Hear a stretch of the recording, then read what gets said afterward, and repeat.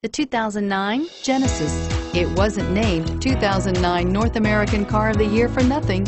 Genesis combines luxury, performance, and engineering for one powerful and memorable driving experience and is priced below $20,000. This vehicle has less than 55,000 miles. Here are some of this vehicle's great options. Power passenger seat, XM satellite radio, anti-lock braking system, navigation system, HomeLink garage door opener, air conditioning, front, power steering, cruise control, aluminum wheels, rear defrost.